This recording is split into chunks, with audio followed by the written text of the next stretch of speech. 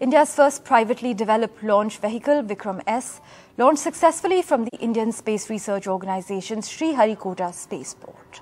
The mission, named Prarambh, or the beginning, marks the Indian private sector's first foray into the promising space launch market.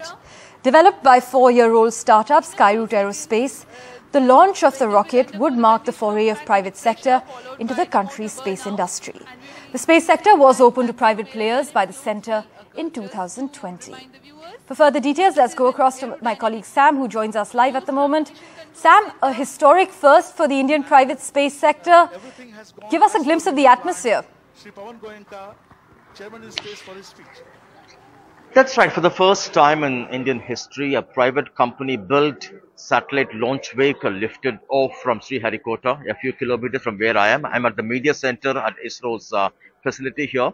There's excitement both among ISRO and the two co-founders who had started up that particular company, Skyroot Aerospace. And uh, it, it was kind of a perfect textbook finish, as many call it. The rocket touched 89 kilometers at altitude and splashed down as expected within five minutes. And the data they would get, the kind of studies they would make on the performance of certain technologies this uh, rocket carried would help them in incorporating them in the series of uh, launches they would have, they planned in the coming years. And uh, the two co-founders say that uh, they have already raised around 500 crore rupees and they have many plans to impact lives. That's what they say. They want to make launching of satellites as simple as booking a cab using an app. That simple they want to make and they hope that the unique features their rocket has and the kind of plans they have would really revolutionize both satellite launching and impacting lives across the country. In terms of uh, the response from the department ISRO and IN-SPACe. They say they've been hand-holding this startup over the last two years, helping them with infrastructure of ISRO and also expertise and mentoring by experts in ISRO. And they rule out that this could be the beginning of a slowdown of ISRO. They say nothing like that.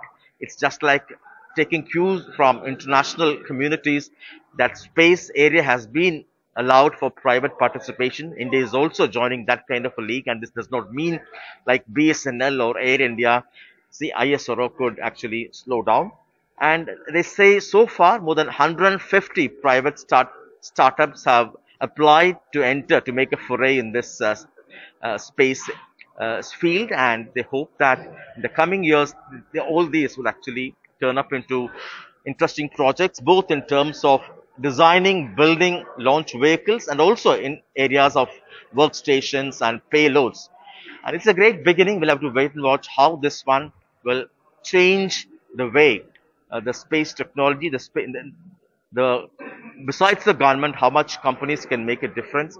The big worry, of course, many say is that as you allow more private participation, their focus will be on commercially viable or profitable projects and the focus on public interest missions could be less, but authorities say ISRO is always there and they would take care of those areas where like mapping or weather and things like that to help India help many communities including farmers and help governments, local governments prepare for uh, in terms of flooding, in terms of rains and cyclone, they'll be able to meet those demands.